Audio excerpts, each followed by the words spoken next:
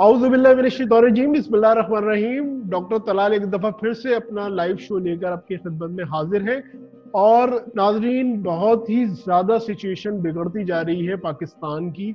हम जो ये डेली प्रोग्राम कर रहे हैं, ख़ास के रमज़ान ट्रांसमिशन जो कर रहे हैं, लेकिन हमें बताते हुए बहुत अफसोस हो रहा है आप अगर इन, इनको अब देखें जो हम स्टेटस आपके सामने जो ना बताते, इसमें 700 से साढ़े सात सौ लोग जो ना, रोज पाकिस्तान में जो है कोरोना वायरस के शिकार हो रहे हैं। ये बहुत ही बड़ा अलमिया है। डॉक्टर्स की बहुत सारी हर सूबे से अब डॉक्टर्स ने प्रेस कॉन्फ्रेंस कर ली है और कहना शुरू कर दिया है कि भाई हम आ, आगे मजीद इस तरह नहीं चल सकते। लॉकडाउन पूरा करें लॉकडाउन करें और हुकूमत सिर्फ़ तजारत तजारती इकदाम की तरफ़ ज़्यादा लगी हुई है।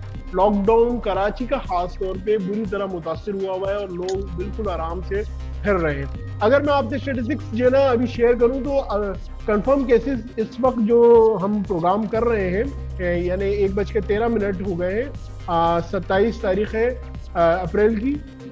इसमें तेरह हज़ार तीन सौ अट्ठाईस केसेस कन्फर्म केसेस हो गए हैं पाकिस्तान। पाकिस्तान अब उस कैटेगरी में आ गया है जहाँ पे कोरोना सबसे तेज़ी से फैल रहा है। अभी एक आ, हमने एक पिक्चर भी देखी स्विट्जरलैंड की के पहाड़ पर पाकिस्तान का भी उन्होंने प्रोजेक्टर से आपकी स्क्रीन पे भी अभी चल रहा होगा जिसमें उन्होंने दिखाया कि जो ना सॉलिडेरिटी शो करने के लिए कि कोरोना के मरीज़ यहाँ पे भी ज़्यादा हुए उसमें पाकिस्तान का नाम भी आ चुका है। इसी तरह एक्टिव केसेस जो है वो दस हज़ार एक सौ इक्कीस जो है केसेस हो गए हैं। डेथ जो है वो 281 281 डेथ हो चुकी हैं कोरोना से। रिकवरीज इस वक्त 2936 के यानी तकरीबन आप 3000 कह लीजिए हो गई है। और एक और चीज़ ये कि कराची में एक्सपो सेंटर में अब रिक्वेस्ट जो की गई है 1300 बेड का जो इन्होंने कोरोना का क्वारंटाइन बनाया था, अब वो 1500 का किया जा रहा है।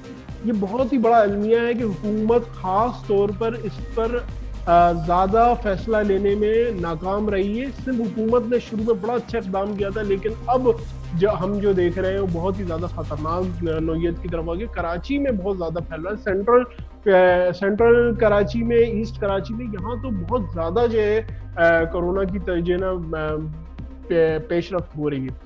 मेरे साथ इस वक्त मौजूद है हमारे मेहमान अयाद अली, खास खली साहब सऊदी अरब से बहुत अच्छी अपनी निगाह रखते हैं। ख़ास तौर पे हम इनको इनवाइट करते हैं आपकी जो भी हमें मौसू होती हैं कमेंट्स में। अयाद अली, खास खली साहब, पहले तो असलकुम आप मुझे थोड़ा सा ये बताइए, सऊदी अरब में सुनने में आ रहा है कि लॉकडाउन में नरमी आ रही है और मार्केट्स वगैरह खोलने चाह रहे हैं, सिवाय मक्का मदीना के, हरम शरीफ के। तो क्या कहेंगे इस बारे में? वालेकुम सलाम अस्सलाम वालेकुम नाजरीन थैंक यू तलाल अहमद खान आपने मुझे दोबारा से मौका दिया इस इम्पोर्टेंट इशू पे बात करने का। यहाँ पे आज कुछ मैसेज आए न्यूज़ आई है कि नरमी की जा रही है। उसमें जो मुझे ज़ाती तौर पे वो लग रहा है कि क्योंकि रमज़ान की वजह से वो कर रहे हैं कि लोग इजीली अपनी ग्रॉसरीज वगैरह और जो खाने पीने की अशिया हैं, उनकी ख़रीदारी के लिए क्योंकि अगर रमज़ान में उन्होंने पाँच बजे तक वो ओपन करने का कहा है तो अल्टीमेटली वो मतलब उतना रश वगैरह नहीं होगा क्योंकि शहरी करके लोग जब सोते हैं तो वो सिर्फ़ फ्यू आवर्स के लिए उसको मेरे ख्याल में इसीलिए इन्होंने किया है कि इजीली लोग ग्रॉसरी वगैरह कर सकें क्योंकि कुछ इश्यूज़ आ रहे थे कि मतलब जैसे पानी की एक फैक्ट्री में केस आया तो उसको उन्होंने बंद कर दिया तो थोड़ा पानी की शार्टेज आई, कुछ एग्स की शार्टेज आई।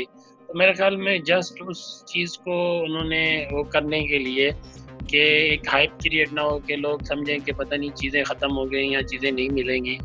तो उस टाइमिंग को उन्होंने वो किया है कि रिलैक्स किया है और केसेस का जो अगर उसको हिस्टोग्राम के उसमें देखें तो वो मेरे ख्याल में इन ताला ये पीक से डाउन होना शुरू हो जाएगा। अभी ग्यारह हंड्रेड का एवरेज प्लस पीक चल रहा है वन वीक से।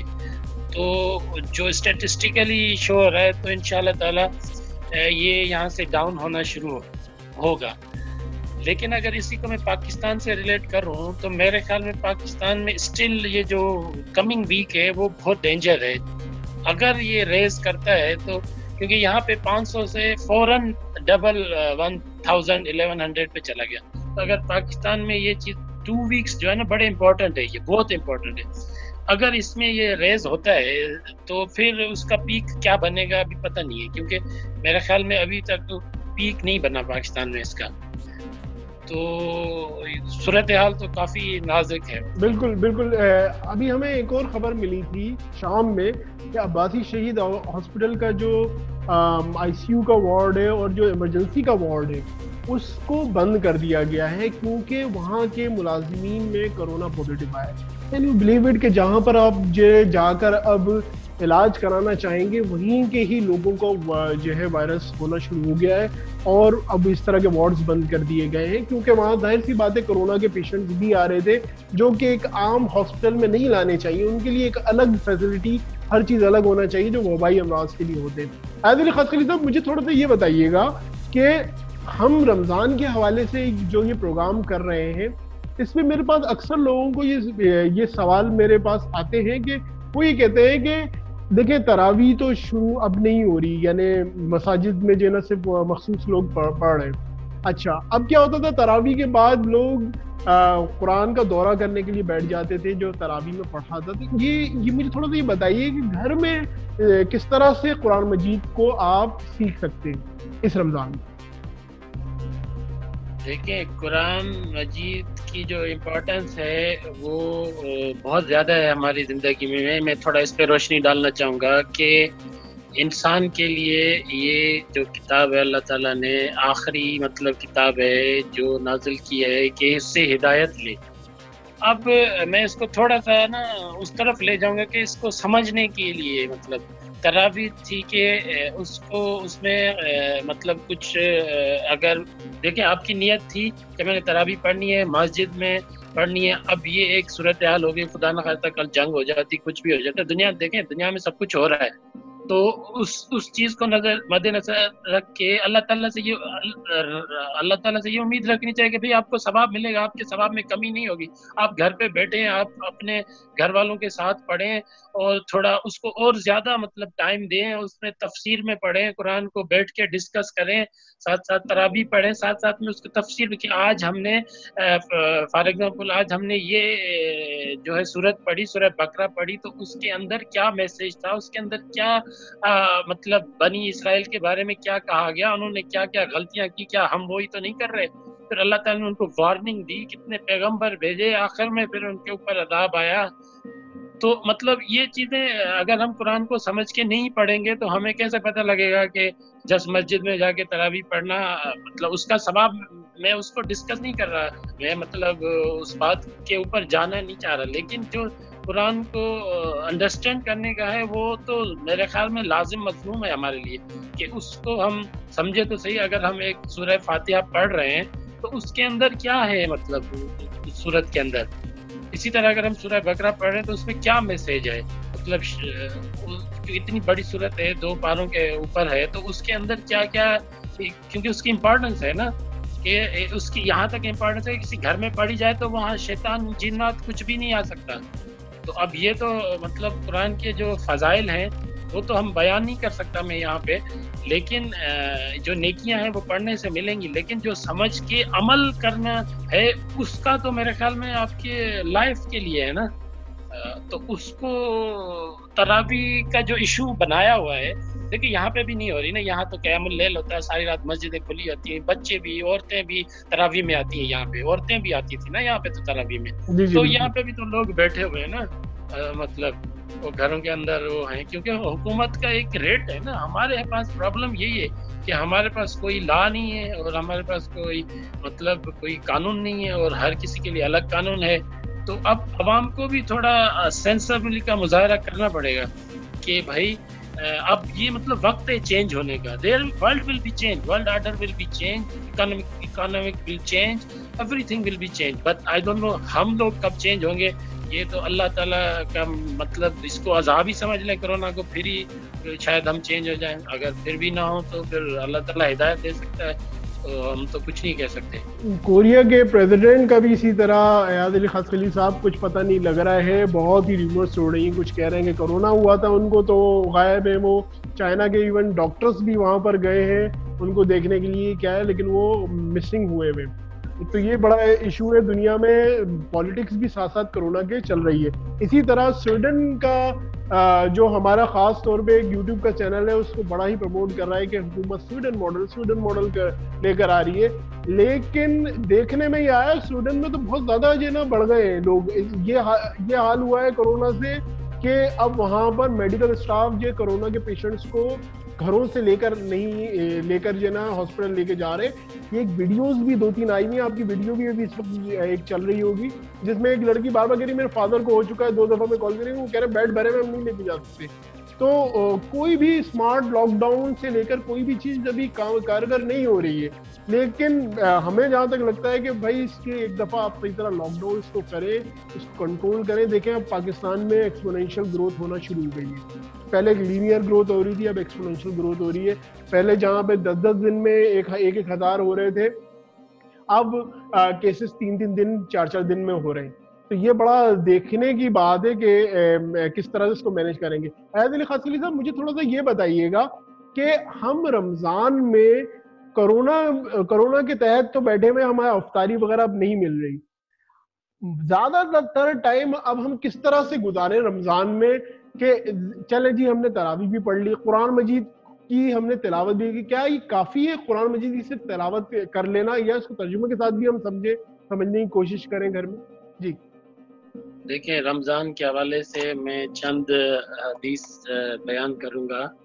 उसमें यह है कि रोज रोज़ेदार को दो खुशियाँ नसीब होती हैं। एक तो उस वक्त जब वो रोज़ा अफ्तार करता है और अपने अफ्तार पर खुश होता है। दूसरी खुशी उस वक्त मिलेगी जब वो अपने परवरदगार से मुलाकात करेगा। एक दूसरी हदीस है रोज़ा और कुरान दोनों बंदे की शफात करेंगे। असल में मेरा ये आयत बताने का मकसद है कि रोज़ा और कुरान साथ साथ आ रहा है। रोज़ा और नमाज़ भी साथ साथ आ रहा है। जक़ात और नमाज़ भी साथ साथ आता है। तो रोज़ा और कुरान दोनों बंदे की शफात करेंगे। ठीक है, पढ़ने का तो सवाब और नेकियाँ मिलेंगी मिलेंगी। लेकिन अगर हम उसको समझ के पढ़ेंगे तो आप, आपकी लाइफ चेंज हो सकती है। आपकी लाइफ चेंज होगी तो आपके घर की माहौल चेंज होगा, घर का माहौल चेंज होगा तो आपका मुआशरा चेंज होगा। जो मुआशरा हमारा चेंज नहीं हो रहा, जो हमारे, जो अभी हुआ है ये, मौलाना तारिक जमील वाला इशू अब आप उससे अंदाज़ा लगाएँ, इस पर मैं बाद में बात करता हूँ। लेकिन एक हदीस है, रोज़ा और कुरान दोनों बंदे की शफात करेंगे। रोज़ा कहेगा है मेरे परवतगार मैंने इस दिन में खाने और पीने से रोक, रोके रखा। उसके हक में मेरी सिफारिश कबूल फरमा। और कुरान कहेगा, ए मेरे रब, मैंने इस रात को सोने से रोके रखा, यानी तरावी।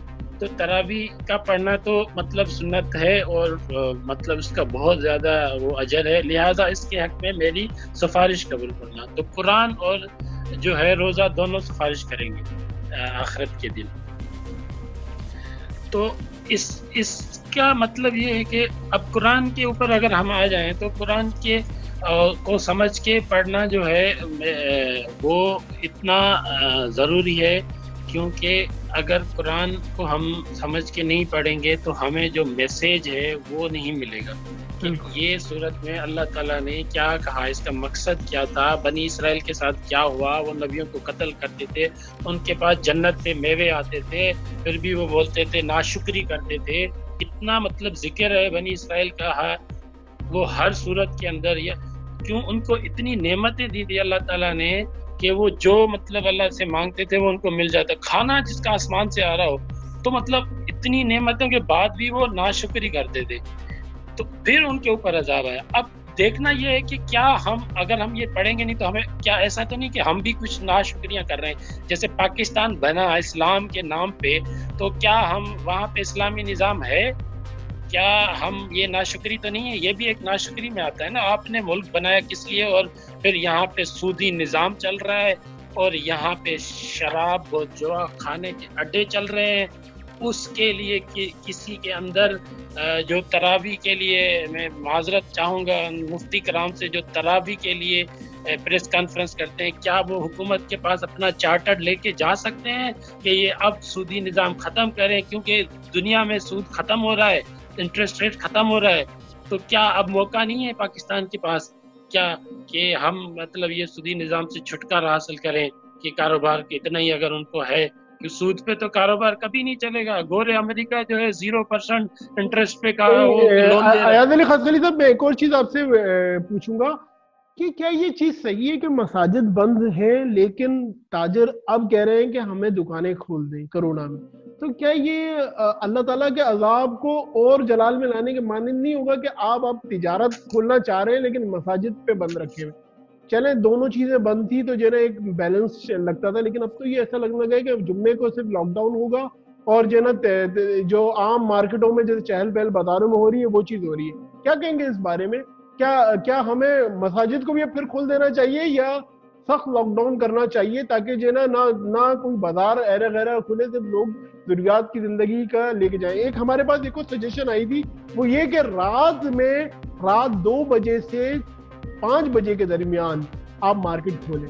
इसमें आपको सिर्फ़ वही कस्टमर मिलेगा जो ज़रूरत के तहत इतनी रात को ट्रेवल करके आपकी दुकान पे आएगा और वो चीज़ लेगा। जो विंडो शॉपिंग वाले हैं वो चीज़ वो लोग नहीं आएँगे। क्या कहेंगे इस बारे में?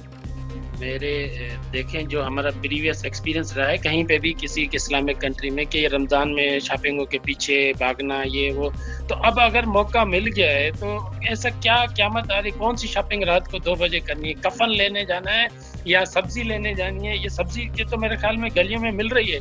हाँ खाने पीने की चीज़ें अशिया तो मिल रही है। ऐसी क्या चीज़ें हैं जो मतलब समझ नहीं आ रही कि वो कारोबारी हजरात जो हैं, वो अपनी जगह थोड़ा सा मैं उनको अगर फेवर दूँ तो डेली वेजेस वाले लोग जो उनके पास काम करते हैं तो वो समझ आ रही है, उनको दिहाड़ी कैसे देंगे, क्या करेंगे? लेकिन मेरे ख्याल में वो एक दो महीने जिनकी दुकानें सदर में होंगी, जिनकी दुकानें शॉपिंग मॉल्स में होंगी, वो दो तीन महीने इतना तो होगा कि वो भूखे नहीं मरेंगे मेरे ख्याल में। अगर वो नहीं तो कोई ना कोई अल्लाह का बंदा, वो इतने नेक लोग हैं कि वो कुछ ना कुछ उसको मिल जाएगा। तो बजाय कि आप जब आप ये बंद कर रहे हैं तो हुकूमत को फिर बाजारें भी उस तरह उसके ऊपर भी स्ट्रिक्ट मतलब वो होना चाहिए कि उसको भी स्ट्रिक्टली बंद करना चाहिए।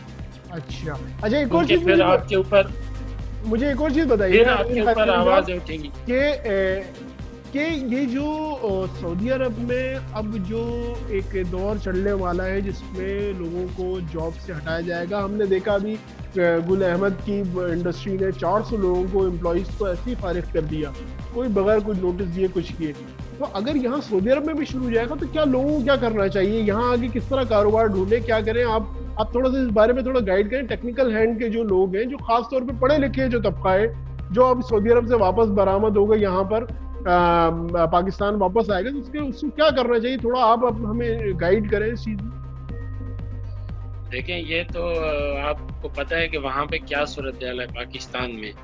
अगर यहाँ से खुदा न खास्ता गल्फ कंट्रीज़ जितने हैं, उनसे कितना रिमिटेंस आता है, खुदा न खास्ता ये आ जाते हैं, और कितना अगर ट्वेंटी तो फोर्टी परसेंट भी अगर आ गए तो इनशाला ऐसी सूरत हाल पैदा नहीं होगी फ़िलहाल ए सच लेकिन अगर आ जाते हैं तो क्या अपॉर्चुनिटीज़ है? क्या वहाँ पे क्या वो है गारंटी क्या है? झूठ का कारोबार है गवर्नमेंट आप बहरिया टाउन को देख ले मलिक साहब मैं आपको आपकी बात को काटूँगा।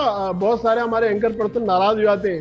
जब उनको कहा जाता है एक जनरल बात की जाती है एक हदीस सुनाई जाती है कि झूठ ना बोले और जो ना बेहाई ना फैलाएँ तो वो अपने प्रोग्राम्स में बुलाकर जो ना उलमा कराम को बुरी तरह बेजत करते हैं कि वो माफ़ी मांग देंगे आप आप आपने पिछली दफ़ा भी हाईलाइट किया था क्या कहेंगे? थोड़ा आप डिटेल में बात करें मैं डॉक्टर इसरार अहमद साहब को आ, सुन रहा था अभी कुछ दिन पहले। उसमें उसका ये था कि उसने क्लियर बोला कि ये मुनाफिक कौम है हम मुनाफिक कौम हैं। उसका उसने मुनाफिक की डेफिनेशन क्या होती है? कि वो झूठ बोलता है वादा खिलाफी करता है और ख्यानत अमानत में ख्यानत करता है।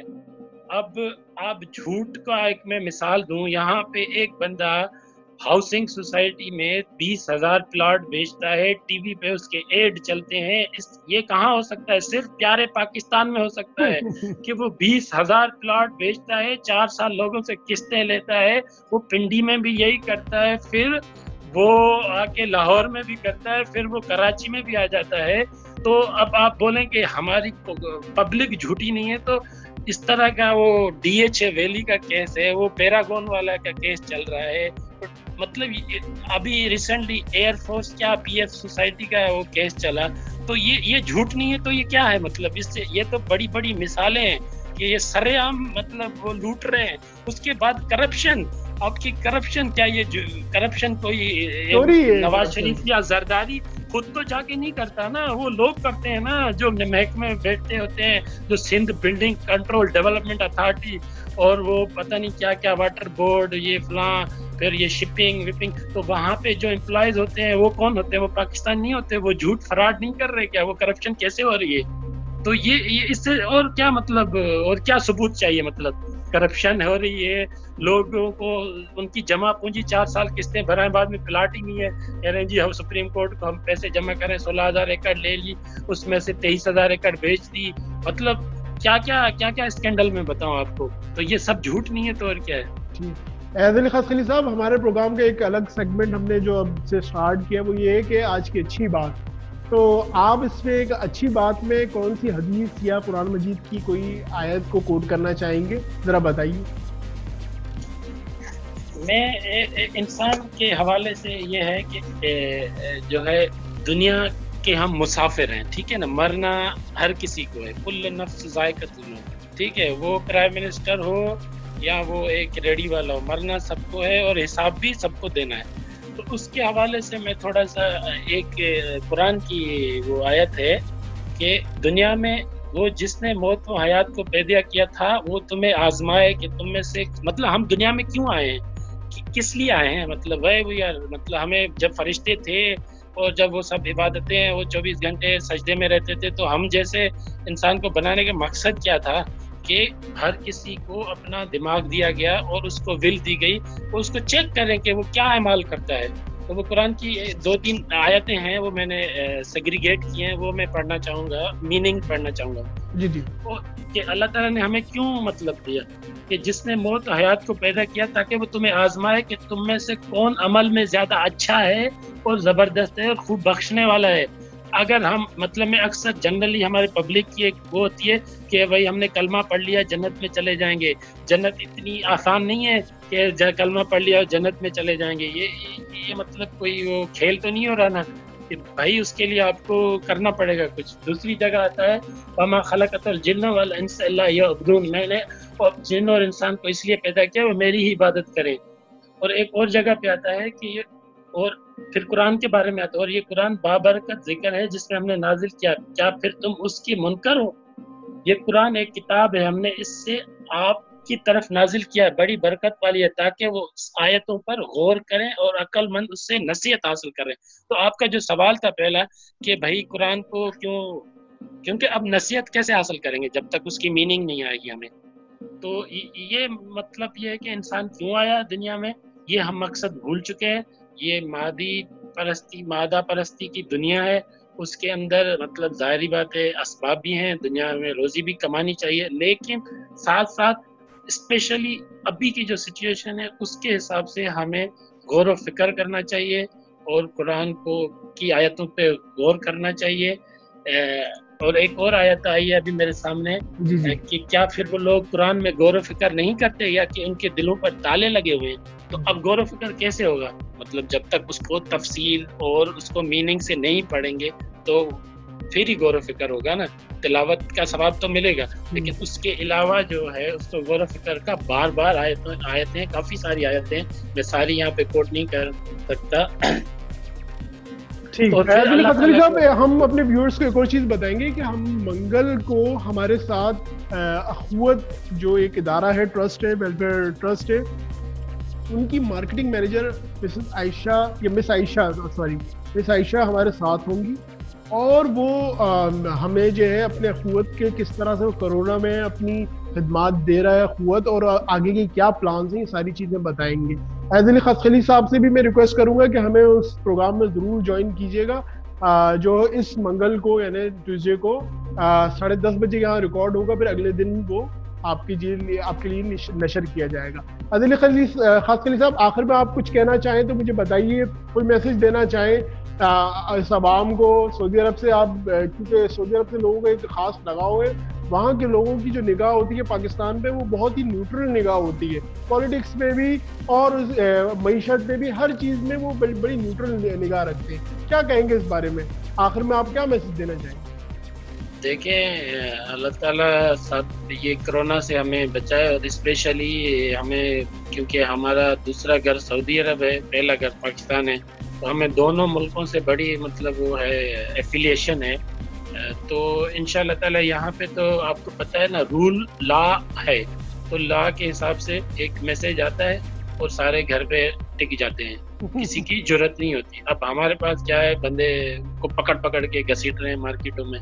तो हमें आवाम को भी हुकूमत के साथ साथ आवाम को भी अपने वो जो है ना पढ़े लिखी हमारी आवाम है तो उसका मुजाहरा करना चाहिए। और थोड़ा सा सब्र और अल्लाह ताला से रुजू करें और इस रमज़ान को क्योंकि रमज़ान के लिए दुआएँ करते थे साहबा तैयारी करते थे तो इस रमज़ान को एज अपॉर्चुनिटी लें और कोरोना को भी मैं इन सेंस क्योंकि एवरी थ्रेट इज़ अपॉर्चुनिटी इसको भी एज अपॉर्चुनिटी लें और अपने ज़िंदगी के अंदर बदलाव लाएँ, कुछ नया सीखें, दुनियादारी में क्या हो रहा है मतलब क्या दुनिया कैसे तरक्की कर रही है, वो भी सीखें और पाकिस्तान के लिए दुआएँ करें तो कि हमें अच्छे लीडर मिलें और हमारे मीडिया हाउस कंट्रोल हो और, जो है, हमारे, जो है, हम सही से मत चले जाएँ। जिस मकसद के लिए मुल्क बना था, जो टू नेशन थ्योरी थी, वो यही थी ना कि हिंदू, मुस्लिम तो अब वो हमारे कल्चर तो माशाल्लाह, वो काम तो हम वही कर रहे हैं। जो वहाँ हो रहे हैं, वो यहाँ हो रहे हैं, बॉर्डर के उस तरफ़ और यहाँ भी। दोनों डांस, वहाँ पे भी हो रहा है, डांस यहाँ पे भी हो रहा है स्टेज पे। तो ये बस है कि अल्लाह ताला हिदायत दे और आ, मेरे ख्याल में कोरोना ने हम लोगों को बहुत अच्छा सबक भी सिखाया है। किस हवाले से कि अगर अब आपको शादी करनी है तो बिला वजह खर्चा ना करें ऐसी सादगी से शादी करें। आपने अगर कोई माल हड़पना है तो अब आप माल नहीं हड़पे अब आप जिना अल्लाह ताला की तरफ़ की तरफ़ रुजू करके हलाल रिस्क कमाने की कोशिश करें। बहुत ज़्यादा जो ना कोरोना की वजह से लोग अपनी असलाह कर सकते हैं, इसको अपॉर्चुनिटी ले और अपनी असलाह करें। देखें, हमें एज अ कौम अपनी असलाह करने की बहुत ज़रूरत है। उलमा कराम के कहने ना कहने से हम चेंज नहीं हो जाएँगे, हम हैं मुनाफिक कौम, हम बन चुके हैं। हमारे एक एक एक्ट में जो है झूठ और फरेब है। इसी के साथ मुझे तलाल अहमद खान को और हमारे मेहमान अयाज अली खासखली साहब को इजाज़त दीजिए। अगला प्रोग्राम तक के लिए अल्लाह हाफिज़